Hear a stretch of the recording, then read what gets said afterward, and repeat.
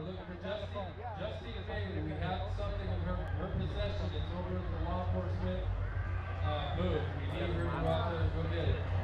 So, all right, with that, everybody having a good time? All right, sorry about the delay. We're going to have Will come out and say a few words. Uh, again, I'm Sean Kennedy from the Stillaguamish Tribe. I want to thank you guys for being here.